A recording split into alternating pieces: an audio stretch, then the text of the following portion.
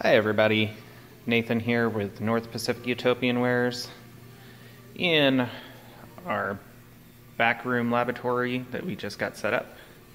And just wanted to do a quick video here to show you why we switched from a Graham style condenser on our still which is this unit right here over to an Allihn style condenser which is like that. Huge difference, right?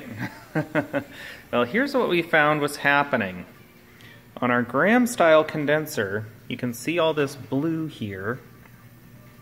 This blue is um, chamomile essential oil that never made it out of the condenser.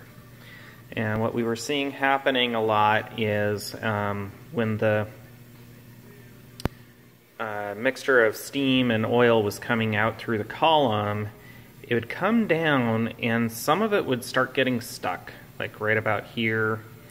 And, um, you know, it, it you, would see different uh, bits of, of water and oil at different parts of the condenser, and it wasn't allowing it to come all the way through. It was really difficult to get that to push through. And um, after doing some research, nobody likes this style condenser. So I'm not sure if there's really any practical use for it these days. There might be. I'll have to do a little bit more research. But the general consensus is, is that this style is really not uh, very useful when you're um, trying to distill essential oils.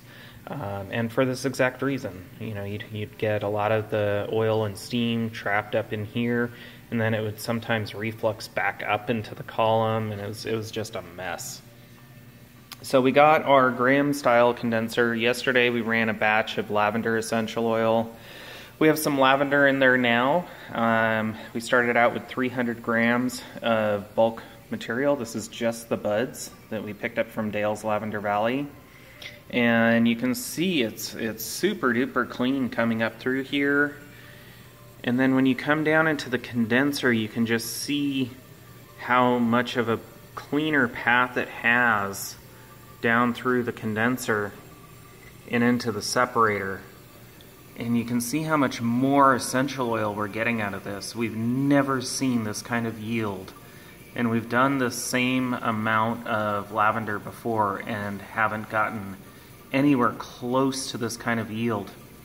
Yesterday when uh, we finished uh, 200 grams of uh, lavender buds, uh, we wound up with a little over 16 grams of essential oil.